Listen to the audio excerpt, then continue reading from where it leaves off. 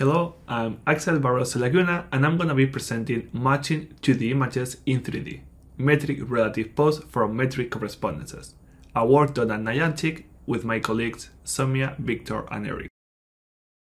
Let's imagine we have two images, the reference and the query, and we want to compute the relative pose between them.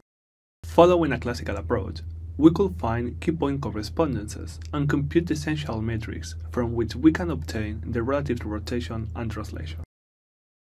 However, that relative pose is subject to scale. We don't know whether those images were taken 1 or 10 meters apart. In this work, we present Mickey, a method that computes metric relative poses using only two RGB images. Instead of relying on 2D key points, Mickey predicts correspondences in 3D, knowing exactly how far apart those two images are.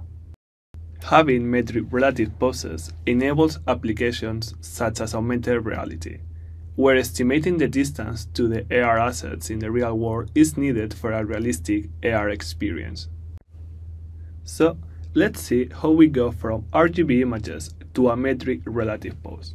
Mickey takes two input images independently and for each image, Mickey computes its 3D coordinates in a metric space.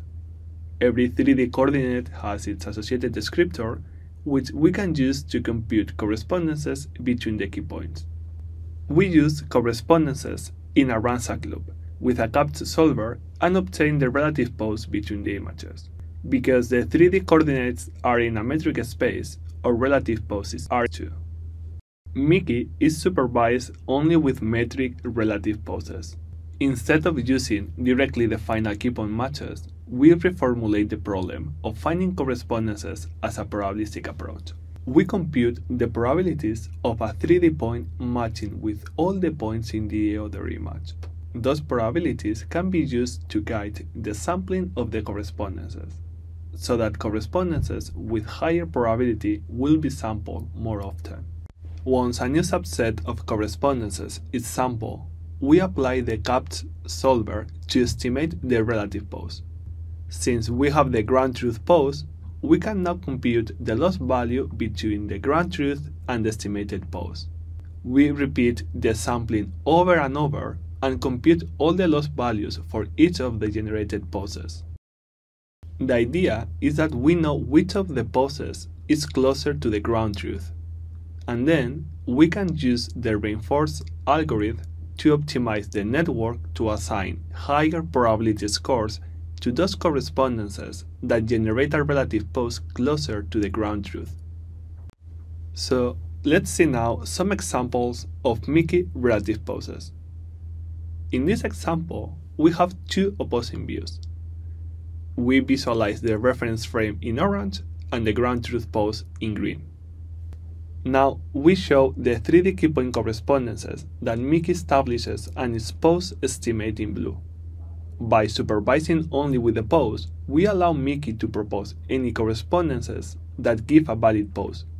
We don't apply any restriction to the keypoint matches, and therefore it doesn't matter if such correspondences actually share any visual overlap. We observe that this is a unique behavior. Another competitors struggle with this kind of example. To illustrate this a bit further, we show the matches that Mickey and other state-of-the-art methods propose when given these two images here. We see that Mickey behaves differently from the other methods, where instead of relying on the letters of the wall, Mickey reasons about the images and the shape of the objects. One important characteristic of our method is its ability to inform whether an estimate camera pose is valid or not. During training, Mickey also optimizes a confidence estimate. We see that Mickey is able to separate solvable and unsolvable cases. To sum up, Mickey computes metric relative poses from two RGB images. Mickey only requires metric relative poses for training, making it very easy to train in new domains. Thank you all for listening. You can visit our webpage project for more examples, experiments, and access to the code.